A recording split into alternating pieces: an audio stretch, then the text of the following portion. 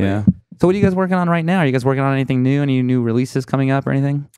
Let's talk about the show, maybe. I Yeah, mean, that's- we sure. uh, That's our we primary we thing. got into a bad van accident. Uh, what five six months ago Six now? months ago. Five, six. Six months ago, we were on tour. We were heading out to North Carolina for the first show of a 46 or 42 day tour. Yeah, something like that. And uh, we, we spun out basically, back tire blew, and we spun out, and the van rolled four or five times. So we've been out of commission for five Six months, months, six yeah. months, and we have uh, not this Saturday, but next Saturday, our first show, our comeback show at the Slide Bar in Fullerton. So Very we've been we've been focusing the last I don't know three weeks on playing music again, just Yeah. fucking getting back in the vibe and the groove of playing as a band. We got So- a couple bands on there that you know. Actually, got Bear Wolf, which uh, I see on the on the wall over there. Yeah, They must have played with Wolf you guys in. before. Yeah, I think he did like episode five of this one. Yeah. Nice. So we got them. We got Laced in Blue, which is a bluesy, bluesy sort of band, girl fronted. She's got a bit of a Also from Joplin Long Beach. thing Yeah. kind of going on. Yeah. And then we got our friends Joyous Wolf, of course, who are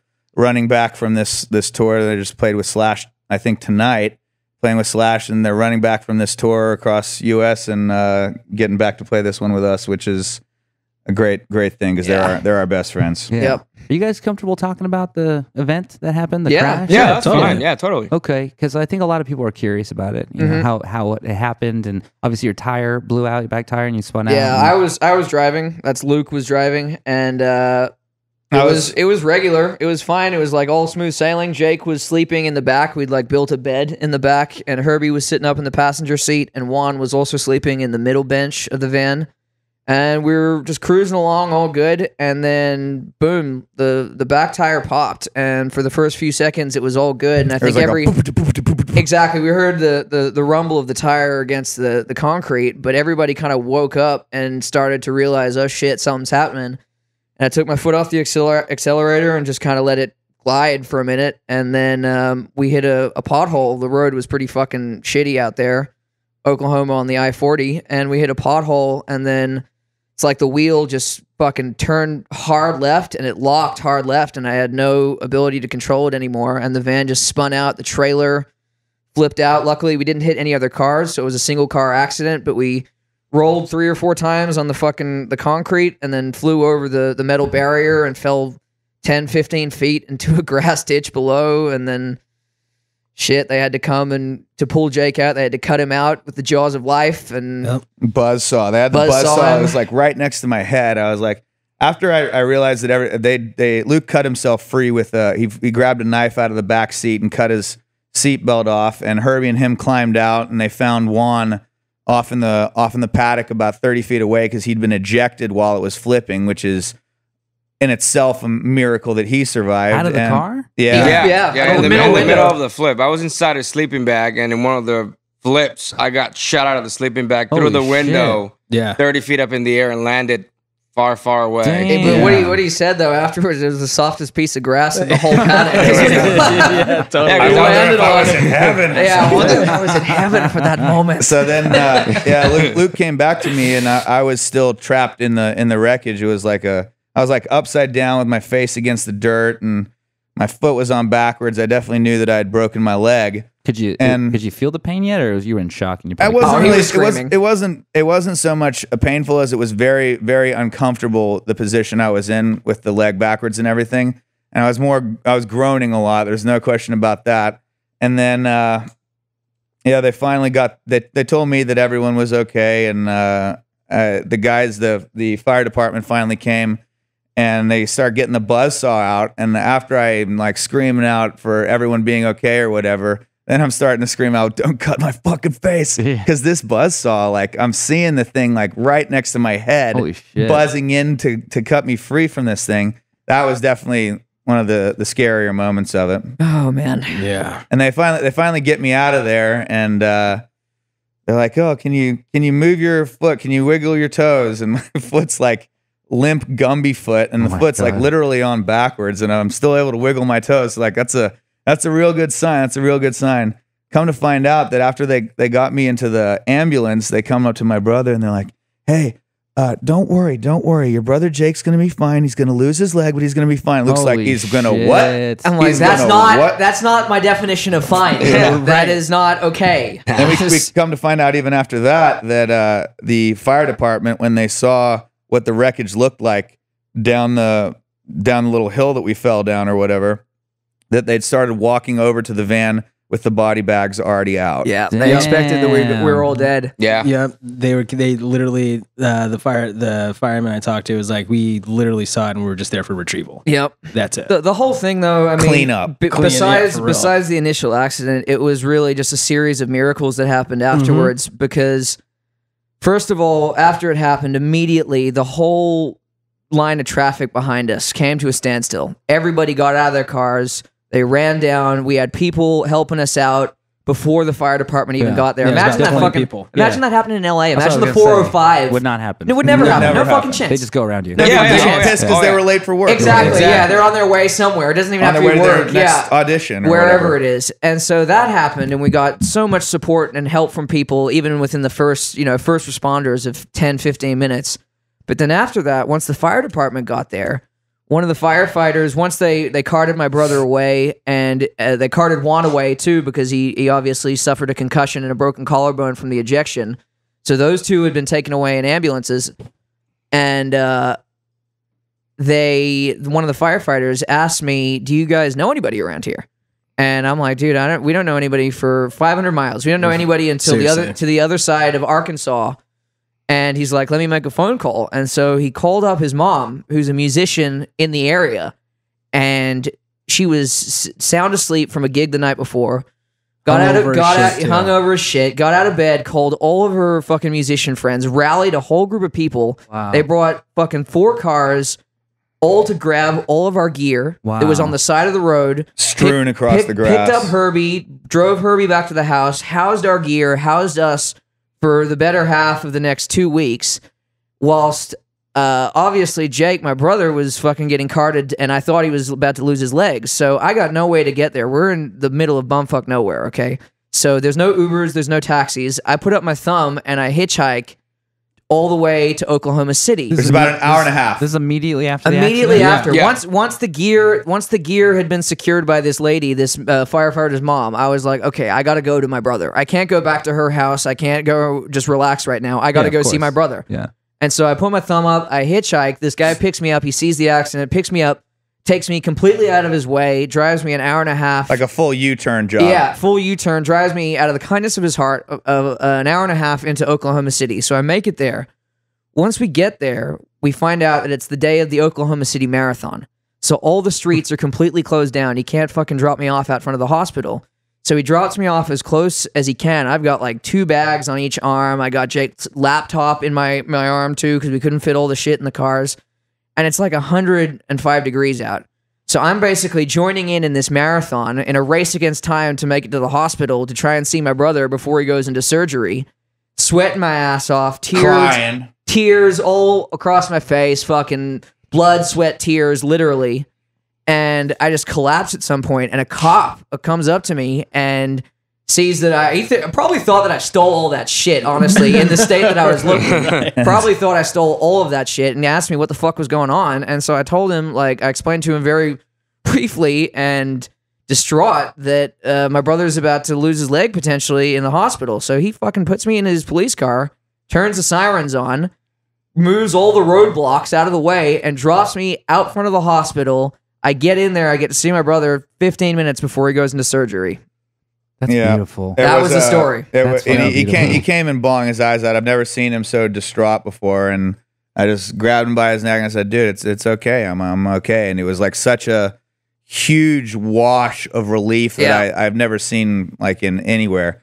Wash came over his face, and he was just like, like I don't know, like a like a survivor on, on an island seeing a boat for the first time and getting brought aboard or something like that. It was it was pretty pretty wild. And then yeah, I went went into surgery in Oklahoma and they put a adamantium rod into my leg and uh, and now I'm I'm pretty good after A little bit closer to being Wolverine. yeah a little bit closer to Wolverine. I convi- Seriously. I convinced my girlfriend that it was uh, that I had to actually go back to Oklahoma for another surgery because the type of metal that they put into me was adamantium, and it, it doesn't it doesn't get uh, dealt with in, anywhere in LA.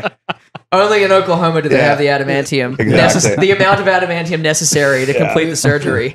Yeah, or unobtainium or whatever that now. no, that's Avatar. Yeah, That's yeah, that's Avatar. Avatar. That's, Titanium. So you got the surgery. got the surgery and uh, then I was I was in the the hospital drugged up with a real bad situation for a leg for about four or five days. Uh, it's been broken in I think four different places, and then once they they finally cleared me to get out of there, there was no way I was allowed to fly, so I had to stay in a Oklahoma El Cheapo motel or whatever for another week.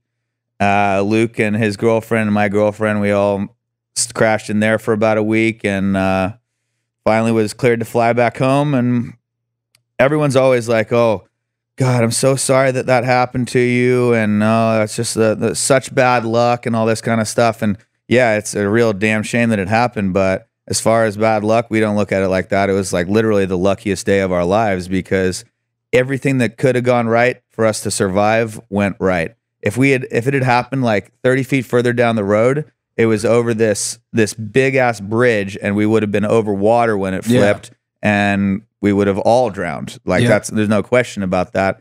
Uh, literally everything that could have gone right did go right for us to survive and we we feel very blessed by whatever kind of power that be or the universe or whatever it is that was helping us that day. Uh, something something went real right. That's amazing. That's so incredible. Yep. Yeah, man, Yeah. big time. You got to look at the silver was- linings of of these kind of things. Yeah. Definitely. So it's been six months since then, and I'm sure you've been recovering and all that. Right. And but now you're back. Now we're back. We've been Yes, uh, sir. we've been working on uh, getting getting fighting fit for playing all of our old songs. Uh, getting ready for this big October twentieth show at the Slide Bar, which is coming up real fast. But other than that, we've also had the chance now to really uh, buckle down and start recording the next album, which we probably wouldn't have because this year was going to be packed full of touring with our friends Joyous Wolf and really getting out there and stuff. But yeah, we're we're really really proud of how this new record's coming along. It's going to be called Live Forever, and it almost seems in many of the songs like it's uh, prophetic because a lot of the the content, lyrical content talks about living every moment to its fullest and uh, that time's the most valuable thing and Yeah. and all these kind of things that are songs that we actually wrote before before the accident happened but Have now- added- yeah, now- new meaning has now been have added a to them. whole new meaning now a new, a new Definitely. new definite a new like depth of meaning at least we really we really do look at uh life differently since the accident it's a very uh, Oh, yeah. humbling and you know you you can easily just sort of feel like you're indestructible and go through life forever just wasting time pissing on at the V room and getting getting wasted and having a great one but uh when you have something like this happen you really do start to realize that time is finite and uh What do I want out of this life? what do I want thing. to yeah Right. and, and you Yeah. got to you got to get it done sooner than later because you never know how much time you're gonna have Yeah, not only that, but do the things you want to do, not the things people make you to do, or chase the things people tell tell you that that would pretty much bring you whatever it is that you're looking for. Is just whatever you want to do, do it now. Whatever it is, don't matter if you want to be a fucking baker, be a baker. Yeah. Whatever it is, man, just go and do it. Just if you don't do it now, Yeah. you're not gonna have it tomorrow. and you're gonna regret it later if you didn't do exactly. it You know, I, Exactly. I, I talk I, I talk to a lot of musicians, and I always I always have that conversation with them about when I turned 29. I said I'm almost going to be 30. I got to get my shit together, like shit shit or get off the pot kind of thing, you know. Right. Right. And then the last two years, since I'm 30 now, uh, in the last two years, I've just been fucking going all. I've been burning the candle at both ends. Like, Nice. I just like I'm gonna do this or I'm gonna die. Either Exactly, way, And as long as I'm fucking trying. You have to. You have yeah, to. Yeah. And I see so many different bands that like you know they put something out maybe, but they don't really like do it right. follow up They yeah don't follow up. Yeah, and I it's just beautiful to know that there's people out there that work as hard as you guys do. thanks man Thanks, Thanks, man. man. thanks, thanks. well Yeah. same to you then i guess Yeah, Yep. I'm trying. Cheers Yeah. Cheers, man. Cheers. You guys want to do a shout out segment? You can shout out anybody you want. Well, we we uh, we shouted out that show that we're doing uh, October twentieth. We've got uh, Lace and Blue, our good our good Long Beach friends, and Bear Wolf are going to both be opening that show up, and then our our dear friends Joyous Wolf, who've been really the best best friends we've ever Let's, had let's shout as out. musicians. Give a shout out to Steve too. Steve's our manager, and he's the guy that's really kind of I don't know. I won't say held us together, but definitely been a big fucking adhesive For sure. for the band, keeping us like during that six months, the six months since the accident, as you can imagine, especially the first three, it was pretty dark. Like Yeah. not being able to play at all, anybody, not sure. For a little while, I was like, like, are we gonna keep doing this? I mean, Right, I think. I think we all kind of felt intuitively that we would, but there's still that question mark still overarchingly lies there. Like, are we gonna do this? Are we gonna get back on the horse? you and- were in a weird especially- limbo period. Exactly, in a limbo right, period. Pretty much. Are we going to get in a van again and fucking tour the Yeah. country Yeah, again? that's Are the we thing, going to do that? Are And we like, gonna have the balls to get exactly. in the van and do that And shit so again? Steve, our manager, he's just constantly been a positive, just uplifting. Like, guys, Mm. everything's going to be okay.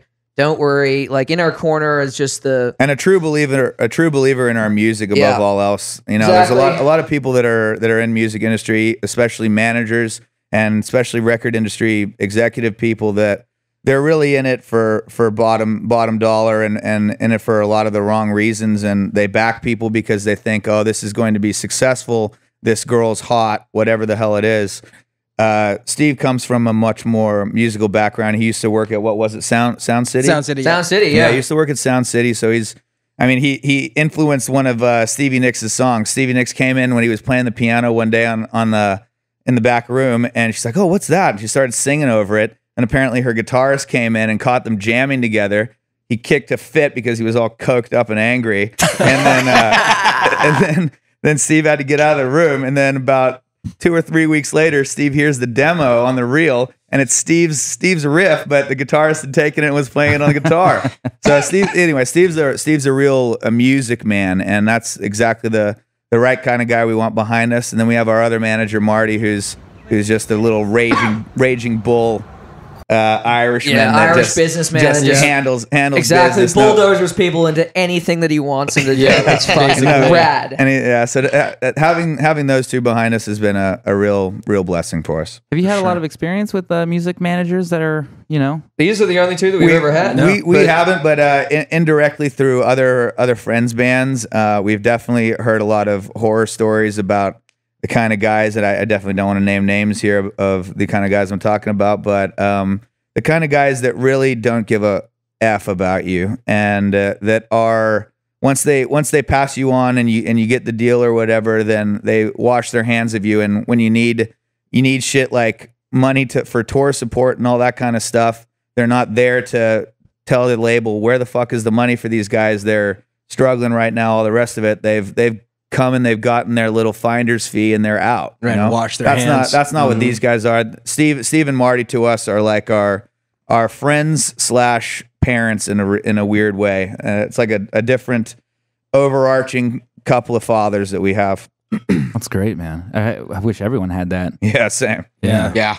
Um, I like to. I, I know we already talked about the crash and you know, but I always like to ask about musicians' horror stories. Mhm. So besides the crash, but like, so I like to say like, if you've been to a show where some guy was like really drunk and like they started a fight or, or some crazy thing happened at a show, do you guys have any interesting I stories? got a I got a funny one. I don't know if this is really a horror story, but uh, there's a Long Beach friend of ours. I'm not going to name her name either, but she's awesome, and uh, she's got some big old fake boobies and loves to get them out on stage every now and then. Okay, now I know what story you're talking about. Yeah, Yeah, and uh, it was one one night at the Viper Room we were playing, and she was nicely sauced up. I think it was on uh, Cinco de Mayo actually, so she was It well was. well turned. And uh, she gets up on stage while we're playing, gets the cans out, everybody's loving it, blah blah blah. but then she runs up for a stage dive, and everybody cleared the path. Oh, and in this video, you literally hear the oh, and then no. dude, dude, the, the thump, the thump of that was like five times the thump of the kick drum. It Seriously. was It was bad. unreal. It was yeah, no no diss we to your kick we, drum we, we honestly should have fucking we should have sampled that as the fattest kick ever right there. That would have been the next album's kick. Done. But Base- really, really, other than other than uh, than this crash, dude, we've we've been very blessed and not really had any any real negative experiences with playing. Yeah. I mean, Not even us- in other, your other projects. Other other than the the bullshit stuff like you know when amps blow or Yeah. when you forget a fucking chord and you have to do things wrong. Yeah, and, minor stuff. and you but- embarrass yourself in this way Yeah. that way. Getting too drunk, I've definitely had a few of those. So I- yeah, like I- mi- I don't- minor fuck ups. I don't drink too much before shows now because of that. I've I've learned that I can sing in key if I don't drink, or I can sing wildly out of key and think I'm awesome if I am drunk. I think it's the case with every fucking band. Yeah. Seriously. the first time I ever played at the Prospector, Wade gave. Uh, it was the first time I'd moved to Long Beach. I didn't know anybody, and our band got booked at the Prospector, and uh, Wade gave us an open bar. Oh, Just shit. Oh, shit. just whatever the fuck you guys want. We got fucking thrashed, and it was like Mm. probably the worst performance I've ever had. Nice. couldn't couldn't play at all. I've always said that I, I that's the only time I ever wished I was always in a punk band because then I wouldn't have to worry about singing on key.